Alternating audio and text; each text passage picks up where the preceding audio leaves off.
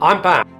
Did Einstein fail mankind? He brilliantly identified the observable universe, but he could not couple it with the subatomic world called quantum mechanics. The quantum world is mind blowing. A lion can walk through the bars of a cage, it will send you right up the train. However, the observable world cannot be coupled with the quantum world. These are completely separate existences. The observable universe is a physical construct. This is a distortion of all truth. The quantum world is behavior. Its principal generative power is reason and all reasons. Reasons are thoughts, etc., which manifest in behaviours. They do not need to be physical. Hence, Einstein did not fail mankind. He measured our world brilliantly. However, you cannot measure a quantum world in any shape or form of that which is physics or physical.